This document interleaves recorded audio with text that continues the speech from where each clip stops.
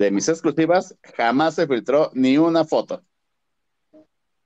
Pero pues también era la boda de la Chupitos, no era para tanto, hombre. No, my darling, no te equivoques. A mí me tocó, fíjate, la primera boda grande fue la de Maribel Guardia en San Hipólito.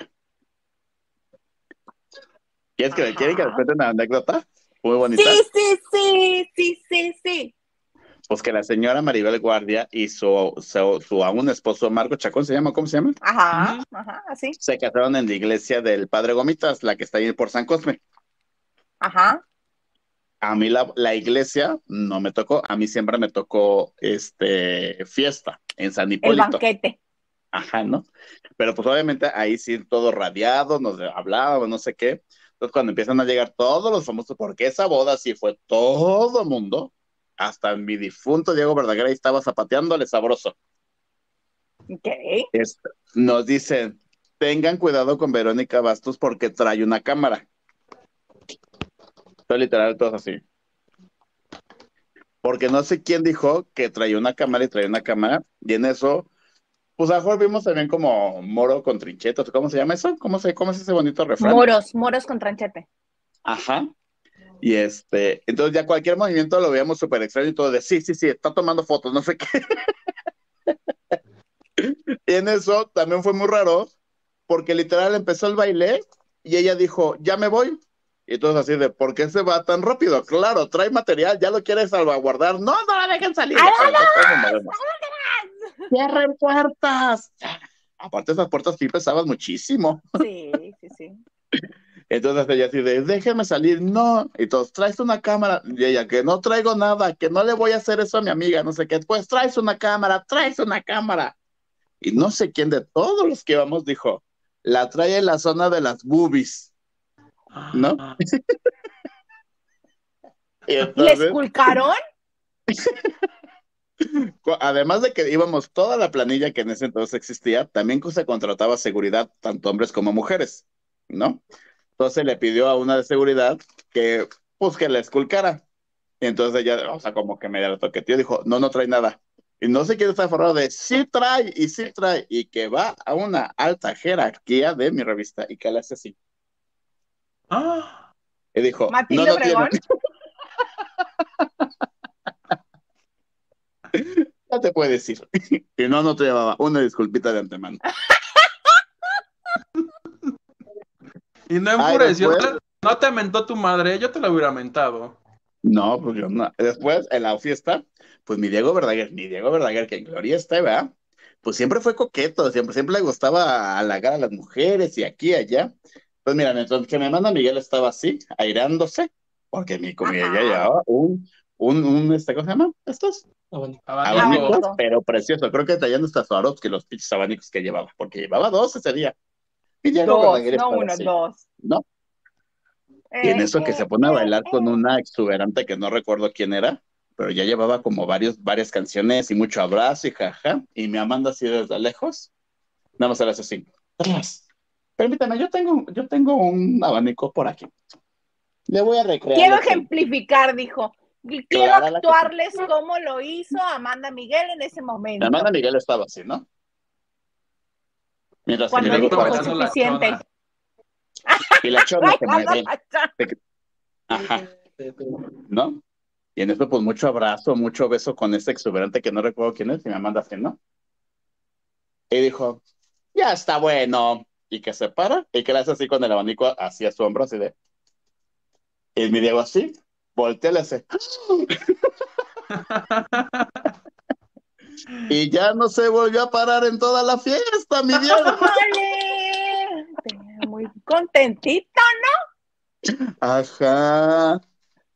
Y después, pues ya sabes que uno, en, en esas bodas, ya cuando pues ya se está cayendo el ánimo y todavía falta como 17 horas más de boda, pues uno se las ingenia a ver qué hacemos, qué no hacemos, no sé qué.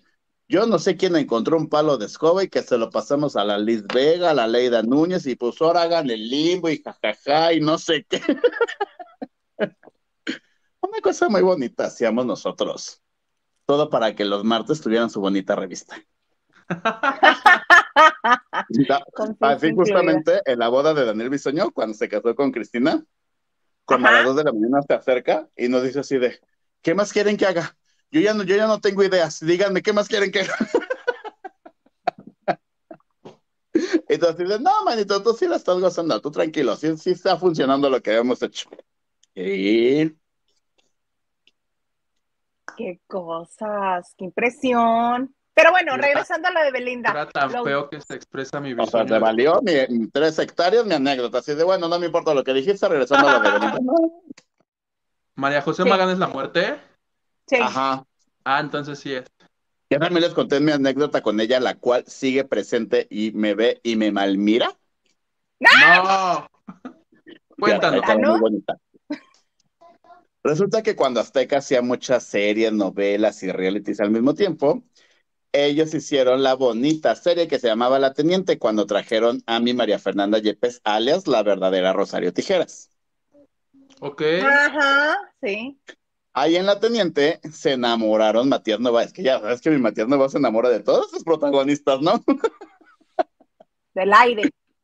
Y entonces, como era de, de, de la Fuerza Armada y no sé qué, creo que se fueron a grabar como cuatro meses a Veracruz, algo así. Entonces, mi Matías Nova acababa de ser padre con la María José Magán y se va a hacer la serie y regresa muy enamorado de mi María Fernanda Yepes, mi amor.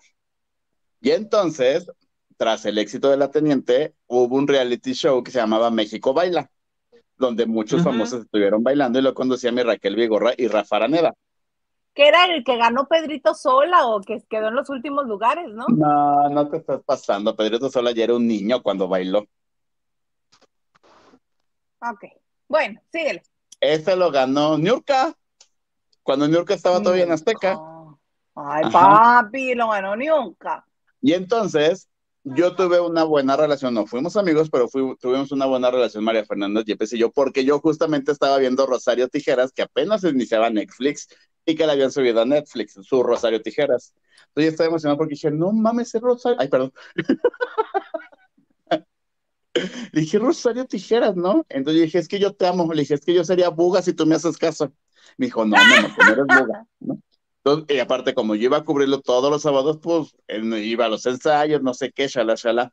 Ella ensayaba justamente en los salones que hay en Azteca Novelas para el Cefat, sus, sus coreografías.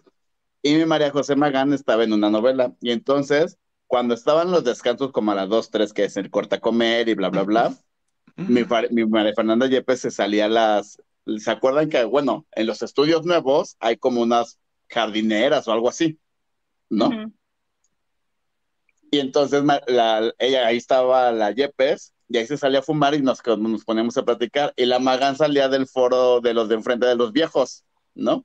Entonces, de foro a foro, le gritaba así de: ¡Roba maridos! ¡Destruye hogares! ¡Lárgate de tu país! Así, una cosa muy fea. Nadie te quiere, no sé qué. Corte A, se termina el reality, no sé qué, no sé qué novela se estrena, que voy a claquetazo, shalala, pues yo le pido una entrevista a la María José Magán, ¿no? Y que me gritonea. Así de, no te voy a dar nada porque tú estabas con esa robamaridos. ¿No te da vergüenza tus amistades? Y le dije, ¿no te da vergüenza estar gritando como, como verdulera, Verdulera. en los estudios? Lárgate. Y pues no, pues, como no me podía correr. Uy, a partir de ahí me malmira cada vez que nos encontramos. Te ¿La vi todo. incorosa? Dime tú, ¿mi Matías Nova sigue con, con, con la Yepes? No. ¿La Yepes me habla? Tampoco. Y ella me malmira. Lo peor. Pues yo que tú ¿No harías las paces. ¿Eh? Te conviene hacer las paces porque pues ella es la muerte. No vaya a ser que te Ah, manito, también el programa nada más lo ve su mamá y la Silvia Pascal ahorita que salió. Y Frida Sofía en Estados Unidos. Claro.